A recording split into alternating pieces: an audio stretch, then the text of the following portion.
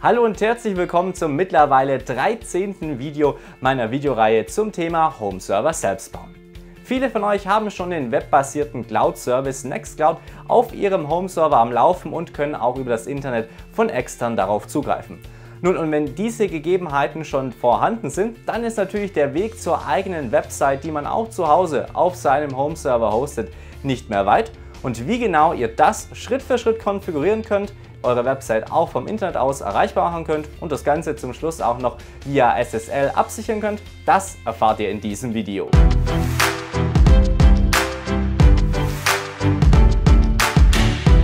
Der Sponsor des heutigen Videos ist dnsadblock.com.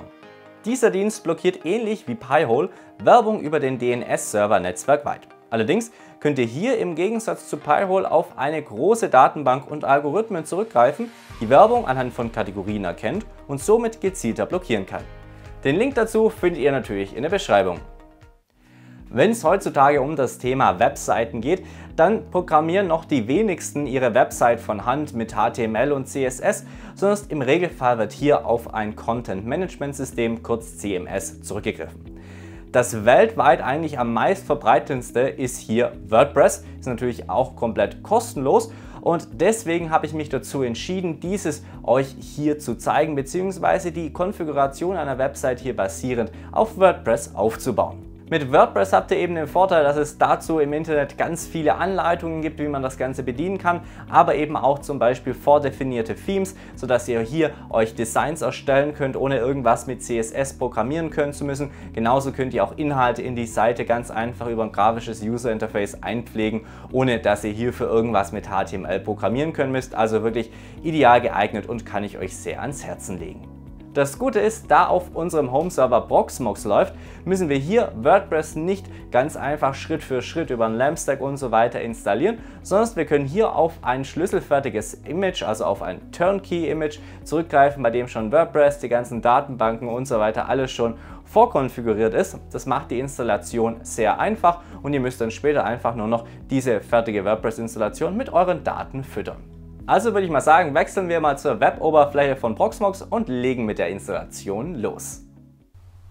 Wie ihr seht, bin ich nun hier auf meinem Proxmox Web Interface angekommen. Wie eingangs erwähnt, möchten wir ja hier WordPress mit Hilfe eines vordefinierten Templates, genauer gesagt eines Turnkey, also zu Deutsch schlüsselfertigen Image installieren und dieses müssen wir natürlich uns erstmal besorgen, bevor wir mit der eigentlichen Installation loslegen können. Dafür wechsle ich jetzt hier auf meinen dementsprechenden Speicher, wo ich eben meine Images speichere, ist bei mir jetzt hier lokal. Und dann gehe ich hier oben einfach auf den Button Templates, um eben die vordefinierten Templates mir hier anzeigen zu lassen und diese dann auch runterzuladen. Hier in der Suche, da könnt ihr jetzt einfach mal direkt WordPress oder einfach nur Word eingeben, dann kommt das schon und dann seht ihr hier dieses Turnkey-Template mit WordPress. Übrigens, wenn ihr jetzt sagt, naja, ich gehe lieber zur Konkurrenz oder halt zum vergleichbaren Service, nämlich Joomla, das ist ja so ein bisschen ähnlich wie WordPress, dann gibt es übrigens auch das und auch die Installation ist hier eigentlich sehr, sehr ähnlich. Wir widmen uns jetzt aber, wie gesagt, in diesem Video hier WordPress, deswegen klicke ich das jetzt hier einfach einmal an, gehe auf Herunterladen und muss jetzt eigentlich einfach hier nur noch warten, bis der Download startet und der natürlich dann auch abgeschlossen ist. So wie ihr seht, steht jetzt hier bei mir Task OK, das heißt der Download ist abgeschlossen und wenn wir jetzt hier schauen, haben wir auch bei den Images eben hier Debian mit WordPress, das ist genau das, was wir brauchen. Jetzt müssen wir einen neuen Container erstellen, der eben dieses Image hier quasi als Betriebssystem nutzt. Dafür gehen wir hier oben auf Erstelle CT für Erstelle Container und das hier kennt ihr jetzt schon, wenn ihr diese Videoreihe verfolgt habt, das ist eigentlich immer derselbe Prozess. Als erstes vergeben wir einen Hostnamen, den nenne ich jetzt hier passenderweise WordPress. Ich entferne den Haken bei unprivilegierter Container, sodass das Ganze eben ein privilegierter Container wird. Ist wichtig bei diesen Turnkey-Templates hier. Dann natürlich braucht ihr ein Root-Passwort quasi, das könnt ihr hier auch ganz einfach vergeben. Und dann können wir auch schon auf Vorwärts klicken. Dann geht es jetzt hier auch schon an das Wichtige, nämlich an das Template. Das haben wir jetzt hier in meinem Fall in lokal gespeichert. Dann kann ich das Ganze einfach hier auswählen. Es ist natürlich auch wichtig, dass ihr hier das WordPress-Template nehmt. Dann könnt ihr hier auf Vorwärts klicken. Jetzt geht es hier um die Root Disk, wie ihr seht, und da geht es jetzt eben darum, auf welcher Festplatte physisch oder auch welcher Partition das Ganze dann gespeichert wird. Ich mache das jetzt hier auf der lokalen, das ist nämlich die SSD.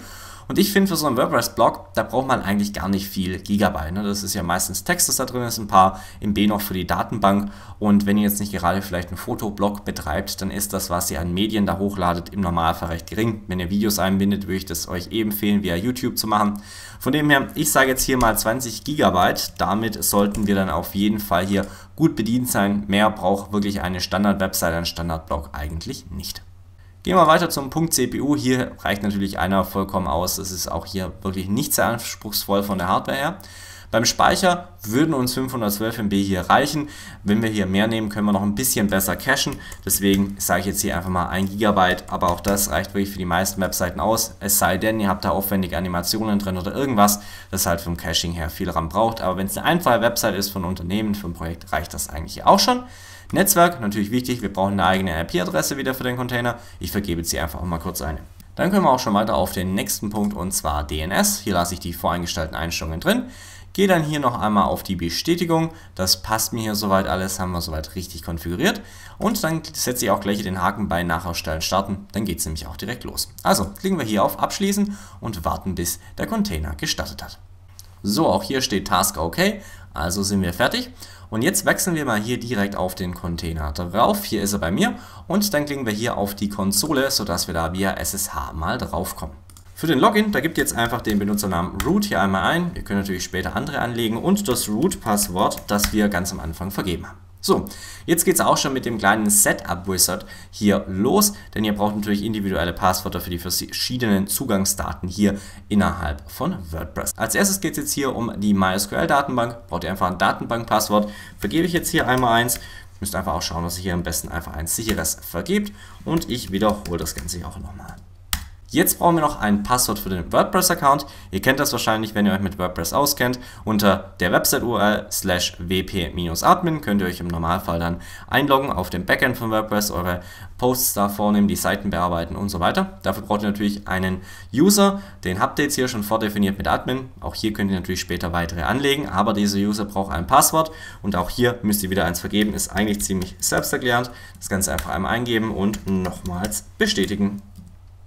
So, jetzt können wir hier eure WordPress-E-Mail-Adresse eingeben. Da bekommt ihr einfach Benachrichtigungen von WordPress, wenn eine neue Version verfügbar ist, wenn auch mal ein Problem auftauchen sollte. Empfiehlt sich eigentlich immer, das Ganze hier einzutragen. Mache ich jetzt hier auch. Und dann können wir hier auf Apply gehen. Jetzt geht es hier um diese automatischen Turnkey-Backups und sowas. Ähm, nutze ich persönlich nicht. Wenn ihr das wollt, dann richtet das ein. Aber im Normalfall kommt ihr auch ganz gut ohne klar. Ihr könnt ja auch Backups ganz einfach und Snapshots auch natürlich via Proxmox machen. Und auch hier sage ich, brauche ich jetzt nicht unbedingt die E-Mail-Adresse nochmals. Das reicht mir, wenn jetzt hier WordPress mir Fehlermeldungen oder ähnliches schickt.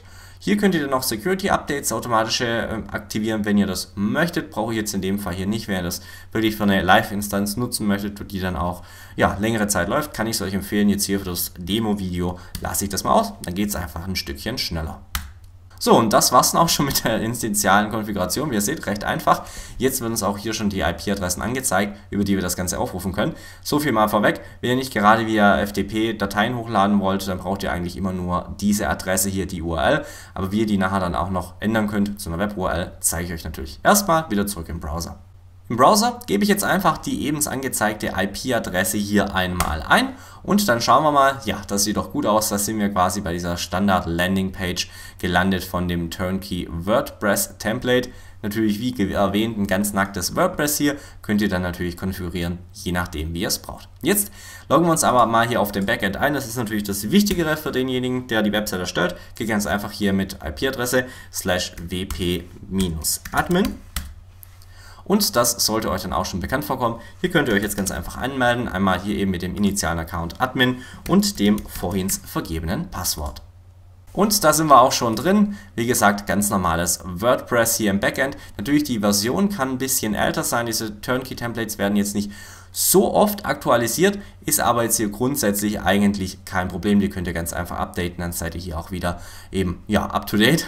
ganz einfach und natürlich auch unter den Settings könnt ihr jetzt hier ja, die weiteren Personalisierungsfunktionen vornehmen, beispielsweise hier den Titel der Seite ändern. Ich nenne den jetzt einfach mal Apfelcast und das könnt ihr natürlich dann auch hier wieder abspeichern und eben auch alles weitere so anpassen, wie ihr das möchtet, euer eigenes Theme hochladen, die Seiten, die Posts bearbeiten. Aber wie gesagt, das hier soll kein eigentliches WordPress-Tutorial sein, wie ihr damit arbeiten könnt, sondern eher, wie ihr das ans Laufen bekommt. Die restlichen Schritte wären jetzt weniger was für einen Server-Admin, wie ich es bin, sondern eher was für einen Webdesigner. Der kennt sich da dann besser aus. Jetzt ist eure WordPress-Seite aus dem internen Netzwerk erreichbar. Ich denke mal aber, die meisten von euch, die eine eigene Website haben oder eben betreiben möchten, möchten diese auch aus dem Internet erreichbar machen. Nur dann macht das so wirklich Sinn. Und ich habe euch ja schon in einigen Videos immer wieder gezeigt, was ihr so beachten müsst, wenn ihr eine Website, wie zum Beispiel auch Nextcloud, fürs Internet aufmachen wollt. Hier nochmal ganz kurz zusammengefasst, was ihr hierfür braucht. Ihr braucht im Normalfall einen dünn DNS-Dienst, das heißt, ihr habt wahrscheinlich eine dynamische IP-Adresse, die sich alle 24 oder 48 Stunden ändert. Der dünn DNS-Dienst macht dann nichts anderes, als einfach eure dynamisch sich ändernde IP-Adresse mit einer festen Domain zu verknüpfen. Das kann eine gekaufte Domain sein, also sowas wie apfelcast.com, oder ihr nutzt einfach eine Domain, die euch von dem dünn DNS-Betreiber vorgegeben wird, also sowas wie apfelcast.dünndns.net. Wenn ihr das eingerichtet und konfiguriert habt, dann müsst ihr noch den Port 80 und den Port 443 in eurem Router für das Web freigeben, sodass ihr dann auch auf eure Website zugreifen könnt. Für das alles, was ich euch jetzt hier so kurz zusammengefasst erklärt habe, findet ihr auch ausführliche Videos natürlich auf meinem Kanal. Alles Relevante ist natürlich in der Beschreibung verlinkt.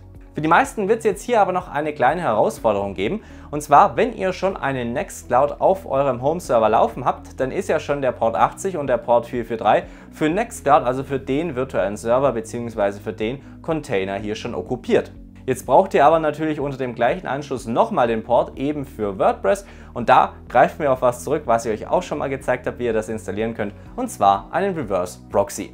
Dieser leitet dann eben ganz einfach anhand der Domain die Anfrage auf das entsprechende Gerät weiter, auch wenn alle Anfragen über den gleichen Port reinkommen.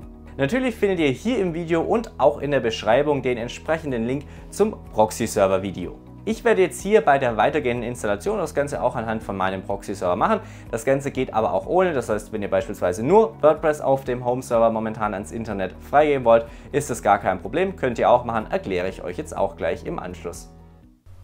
Zurück hier am Computer habe ich mich jetzt hier schon mal, wie ihr sehen könnt, auf meinem Proxy-Server eingeloggt.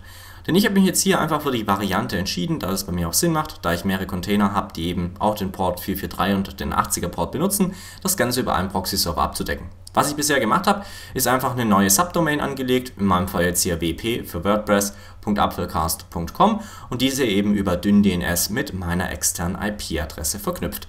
Ihr könnt es natürlich auch, wenn ihr keine Domain kaufen möchtet, ganz einfach zum Beispiel über NoIP, DuckDNS oder ähnliche Dienste machen. Das funktioniert da eigentlich sehr gut. Und wie gesagt, Videos, wie genau das geht, habe ich euch verlinkt.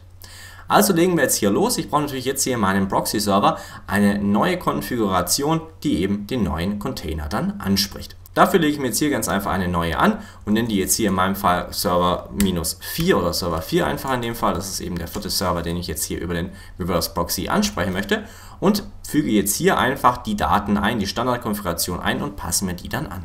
Wie ihr seht, ist natürlich die Standardkonfiguration immer die gleiche, wie ich euch auch schon in dem separaten Reverse Proxy Video gezeigt habe. Also passe ich mir jetzt hier ganz kurz an, wie eingangs erwähnt oder gerade erwähnt, ist ganz einfach meine Domain jetzt hier wp.apfelcast.com. Den Rest können wir belassen und natürlich muss ich jetzt hier noch die IP-Adresse an die IP-Adresse des neuen Containers anpassen. Ist in meinem Fall jetzt 192.168.0. und dann hier 161. Und das Ganze muss ich hier natürlich auch nochmal eintragen. Ist das erledigt, kann ich das Ganze einfach einmal abspeichern hier mit Ctrl O und mit Ctrl X aus dem Editor raus. Dann starten wir ganz einfach noch mit Service Apache to Restart den Apache Server hier einmal neu. So, dann würde ich sagen, zurück hier im Browser, probieren wir das Ganze doch einfach mal aus, ob es funktioniert. Und jawohl, das sieht gut aus, ganz einfach hier über wp.apfelcast.com komme ich jetzt hier auf meinen WordPress-Blog und natürlich auch, wenn ich jetzt hier hinter wieder slash wp-admin eingebe, lande ich auch hier bei der ganz normalen Login-Page. Was uns natürlich jetzt aber hier noch fehlt, ganz klar hier oben steht nicht sicher. Für jede Website, für jeden Blog braucht ihr ja seit DSGVO SSL-Zertifikat, gerade wenn ihr sowas eben public nutzt. Also machen wir das auch noch einfach kurz. Ich zeige euch das jetzt wieder anhand von meinem Reverse Proxy Server. Aber die Befehle sind nahezu identisch, wenn ihr das Ganze beispielsweise nur mit diesem einen WordPress-Container betreibt, denn auch hier könnt ihr über Let's Encrypt mit Hilfe des Certbot-Tools bzw. Paketes hier ein kostenloses SSL-Zertifikat erstellen. Also zurück ins Terminal. Ich bin jetzt hier wieder bei meinem Reverse Proxy Server angekommen. Wie gesagt, ihr könnt es aber auch direkt im Terminal von eurem WordPress Server machen. Da funktioniert das genau gleich. Nur hier müsst ihr noch zunächst diesen Befehl eingeben, nämlich euch einfach diesen Certbot für den Apache kurz installieren. Ich lösche den Befehl jetzt wieder hier raus. Ich habe das schon installiert und wenn ihr den dann auch installiert habt, dann sind ab jetzt die Befehle nämlich gleich. Und der eigentliche Befehl, der ist jetzt eigentlich ganz einfach und zwar ganz einfach certbot minus minus Apache und dann minus d und jetzt kommt ganz einfach eure Domain hier rein, also in meinem Fall bp.apfelcast.com. So, und dann können wir das Ganze auch schon mit Enter hier abschicken. Wenn ihr jetzt hier diese Frage bekommt, könnt ihr ganz einfach das Ganze mit 2 hier bestätigen. Das heißt, es wird ein automatischer Redirect gemacht. Das heißt, ihr könnt überhaupt nicht über den Port 80 zugreifen. Ist genau das, was wir wollen, können wir hier so bestätigen. Und wie ihr seht, jetzt steht hier Congratulations. Das heißt, das Ganze hat funktioniert. Jetzt könnt ihr dann auch ganz sicher quasi euren Blog über HTTPS aufrufen. Das war es jetzt auch schon hier zu dieser Anleitung. Ich hoffe, auch ihr konntet jetzt erfolgreich WordPress auf eurem Home-Server installieren und ihr konntet euch damit noch ein Stück unabhängiger machen von Drittanbietern und eben externen Hostern. Wenn ihr noch Fragen zu diesem Thema habt oder was nicht auf Anhieb funktioniert hat, dann schreibt mir das einfach in den Kommentaren und ich versuche das natürlich für euch zu beantworten. Ansonsten, wenn euch dieses Video hier gefallen hat, dann würde ich mich sehr über einen Daumen nach oben freuen und ganz wichtig, wenn ihr keine dieser Videos mehr hier zum Thema Nextcloud, zum Thema Home Server, NAS und alles weitere nicht verpassen wollt, dann abonniert natürlich auch sehr gerne hier meinen Kanal und aktiviert auch die Glocke, dass ihr auch ganz sicher nichts verpasst. Hier an der Seite neben mir findet ihr noch weitere Videos aus meiner Home Server Reihe verlinkt. Und ganz zum Schluss bleibt mir nur noch zu sagen, vielen Dank fürs Zusehen und tschüss, bis zum nächsten Mal.